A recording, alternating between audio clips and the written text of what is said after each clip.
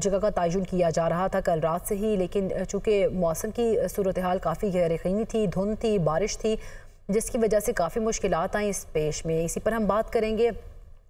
हमारे साथ सबक सेक्रेटरी खारजा एजाज चौधरी मौजूद हैं। बहुत शुक्रिया एजाज चौधरी साहब अपना कीमती वक्त देने का। ये अफसोसनाक खबर आप तक भी पहुँची होगी ईरानी सदर इब्राहिम रईसी की।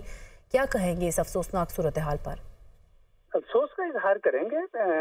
बहुत ही एक अहमियत के हामिल कायद थे ईरान के, जिनसे ईरान महरूम हुआ है। वो अमन के लिए उन्होंने बाकायदा कोशिशें रखी हैं और मेरे, मेरा ख्याल में खत्े में उन्होंने अपने मुल्क का कद और बढ़ाया था।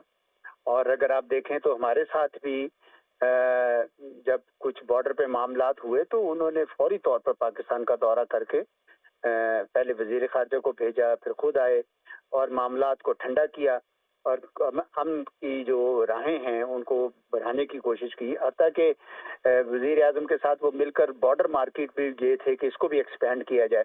तो काफ़ी इनकी अच्छी कोशिशें थी। इसी तरह सऊदी अरेबिया के साथ कितनी दहाइयों से ये टेंशन थी, आप देख रहे हैं कि कितनी बड़ी, ऐसे लगता था, दुश्मनी है, बहुत सख्त, लेकिन उसको उन्होंने पाटा और आपने देखा कि उन्होंने वो सिलसिला शुरू किया जो अभी भी चल रहा है नॉर्मलाइजेशन की तरफ़ चल रहा है।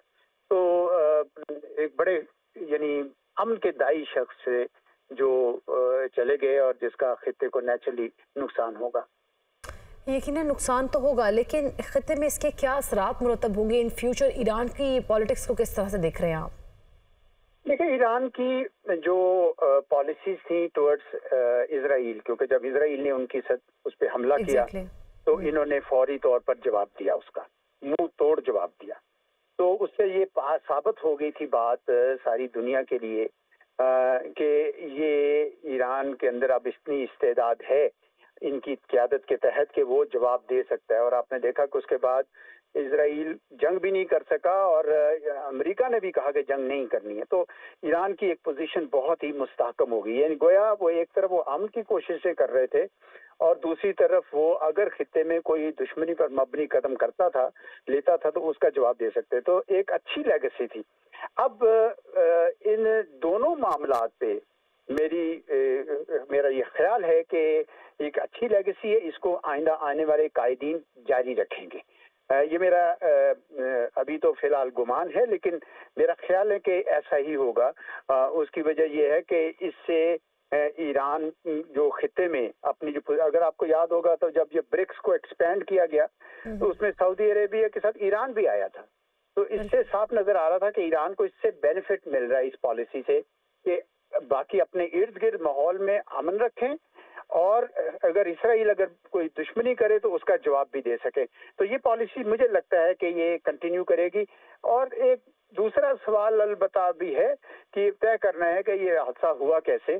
क्या ये हादसा था या सेबोटाज था? ये भी तय होना है तो उसके बाद फिर शायद ये नतज कुछ मुख्तलिफ़ हो जाए। बिल्कुल, जिस तरह से आपने हादसे की बात की कि ये भी तय होना बाकी है तो आप समझते हैं कि इसमें कुछ और भी महरक़ात हो सकते हैं क्योंकि तीन हेलीकॉप्टर्स वहाँ पहुँचे थे, जिनमें से दो तो बाहिफाजत गए, सिर्फ़ एक ही को हादसा पेश आया, लेकिन क्योंकि वो मौसम की कहा जा रहा है कि मौसम ऐसा था, धुंध थी, बारिश थी, लेकिन बाकी दो हेलीकॉप्टर बाहिफाजत पहुँचे अपनी जगह पर। देखिए अभी स्पेकुलेशन है, और इसलिए इसके ऊपर अभी हम तबसरा नहीं कर सकते हैं, और ना ही करना चाहिए। क्योंकि जब तक ये तय ना हो जाए और ईरानी इन्वेस्टिगेशन अथॉरिटीज ये बता ना दें कि जनाब ये हादसा नहीं था और ये सबुटाज था तो फिर तो बहुत ही खतरनाक नतज निकल सकते हैं। लेकिन अभी हमें इस वक्त इसके ऊपर कुछ कहना मुनासिब नहीं। ठीक है अच्छा एजाज साहब, हमें ये भी बताइएगा क्योंकि ईरान की पॉलिटिक्स बड़ी स्ट्रॉन्ग है तो उनके आपके ख्याल में आगे कौन आता दिखाई देता है कि उनके जैसा क्योंकि अगर हम बात करें ईरानी सदर की इब्राहिम रईसी की तो बड़े स्ट्रॉन्ग कैंडिडेट थे, उनका बैकग्राउंड भी बड़ा स्ट्रॉन्ग था। जी जी। ये तो आप सही कह रही हैं कि वो बड़े स्ट्रॉन्ग थे और ईरान का अपना एक सिस्टम है पॉलिटिकल सिस्टम है। आपको पता है कि वहाँ से एक प्रोसेस है पार्लियामेंट के बाद, एक और मजलिस है, मजलिस के बाद राहबर हैं। तो वो अपने हिसाब से फिर उसकी तश्कील कर लेंगे। मेरे ख्याल में अभी ये भी स्पेकुलेट करना शायद। आसान नहीं होगा कि उनकी जगह कौन लेगा। अभी कोई एक नायब सदर जो सबसे सीनियर है, वो वक्ती तौर पर तो एक्टिंग प्रेसिडेंट बन जाएगा ताकि कोई खला ना आए। लेकिन मेरे ख्याल में उनका जो सिस्टम है वो जनरेट करेगा ऑप्शंस नहीं। सही। लेकिन आपको लगता है कि जैसे कि अगर हम, अगर इब्राहिम रईसी की बात करें तो कॉम्पिटेटिव लिए उनके अगर कोई और कैंडिडेट आता है तो जो अवाम है, ईरानी अवाम और जिस तरह से उनके अगर खारजा महाज पर उनके ताल्लुक देखें तो वो उसी तरह से चलेंगे क्योंकि जिस तरह से भारत के साथ ईरान के अभी डील्स हो रही थी, कुछ पाकिस्तान के साथ उनके इस तरह से मामला हुए थे, जो तो ईरान को काफ़ी ज़्यादा और जो उनके साथ ममालिक डील कर रहे थे तो अमरीका की जानब से काफ़ी दबाव था। जी, दबाव बिल्कुल था, लेकिन उस दबाव के बावजूद ना ईरान ने और ना पाकिस्तान ने, ना सऊदी अरेबिया ने, ना हिंदुस्तान ने किसी ने भी वो दबाव नहीं लिया।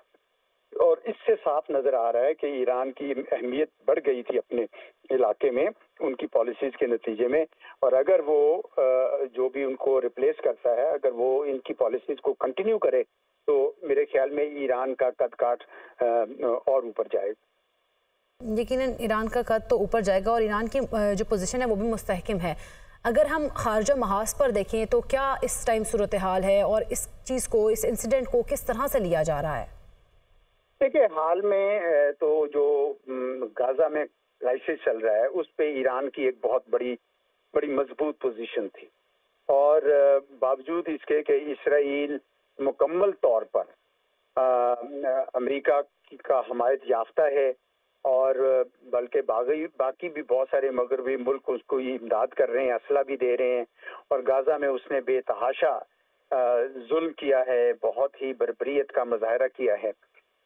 इसके खिलाफ ईरान खड़ा था और ईरान के जो अपने उनकी दोस्त ग्रुप हैं हमास भी उनमें शामिल है, वो भी रजिस्ट कर रहे थे हिजबुल्ला है, कुछ सीरिया में है, कुछ तो वो सारे भी और जो हूतीज हैं, ये सब ईरान की हमायत की वजह से इसराइल के खिलाफ डटे हुए थे। अब ये अगली जो क्यादत आती है, वो ये देखेगी कि क्या ये सारी पॉलिसी हमें कंटिन्यू करनी है कि नहीं करनी है। मेरा जो ये अपना ख्याल है कि ये पॉलिसी का तसलसल इतना पुराना है कि ईरान का कोई अगली क्यादत इसको तब्दील नहीं करेगी। ये मेरा अपना ज़ाती ख्याल है। ये सिलसिला जो है पॉलिसी में कोई तब्दीली नहीं आएगी।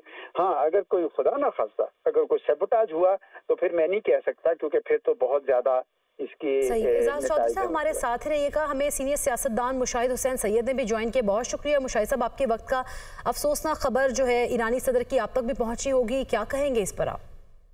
कि मैं भी हम पूरी पाकिस्तानी कौम की तरह, हम ईरानी बरदर जो ममालिक हैं, उनके कौम के दुख में मुकम्मल तौर पर शरीक हैं। ये बहुत बड़ा सानिया हुआ है। कि उनके जो सदर इब्राहिम रईसी साहब